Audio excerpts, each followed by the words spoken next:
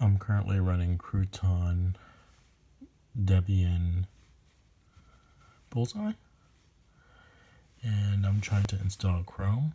So first step is I'm gonna I've already installed Firefox and using Firefox I'm going to the download page for Chrome and it takes me to the screen and I just make sure it says on Debian. So I accept and install. It's gonna ask me where to save the package installer.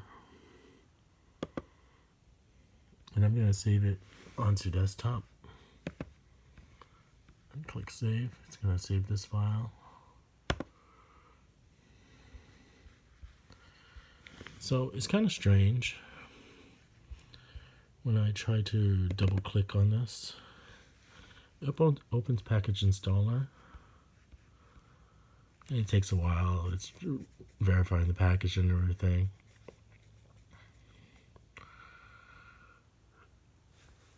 shows up and it's still loading. So when I click on it, surprisingly, it doesn't install it, it just disappears.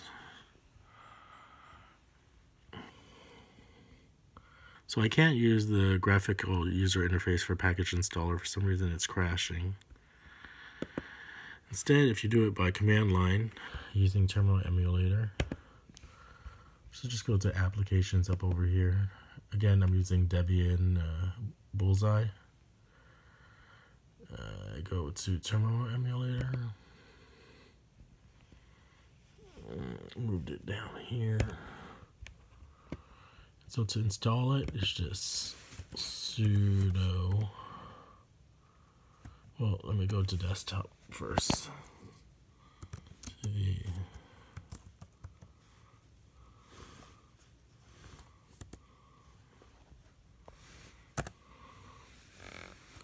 I'm gonna do sudo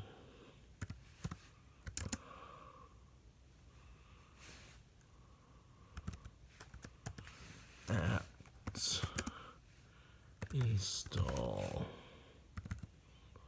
in the package name which is chrome something chrome oops ch and I'll just press the tab key can't see it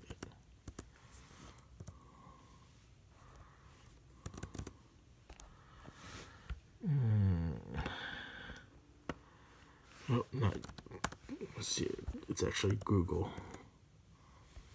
So I just G and then.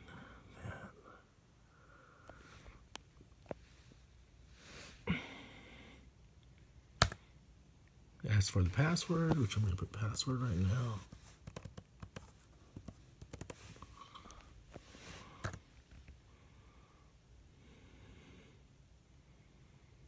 Oh, so I did incorrectly. You can use the file name, but I also have to do dot slash like this, this in the very beginning for Debian for some reason. I don't know why, but once I do that,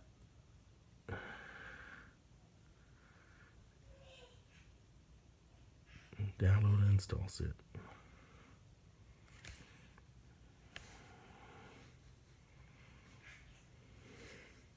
You don't have to watch this video, you can just run the command It'll be in the description. now in applications.